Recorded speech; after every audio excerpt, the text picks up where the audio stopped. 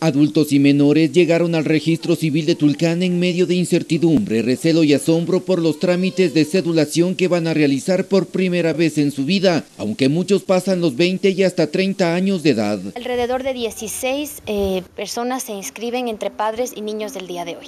La distancia y los costos son los principales motivos por los que no son inscritos de manera oportuna. Tres horas de, de Chicara a Tulcán. De para abajo es 12 horas, tienen que caminar ellos. Gracias a un plan piloto se logró cedular a los primeros beneficiarios, pero aún existen más. Unas 50 personas por lo menos están sin sus, sin sus documentos, es decir, que no tienen inscripciones. Son nueve mayores de edad y siete menores que recibieron su cédula, pese a su limitación económica. No teníamos billete. Somos así, somos pobres.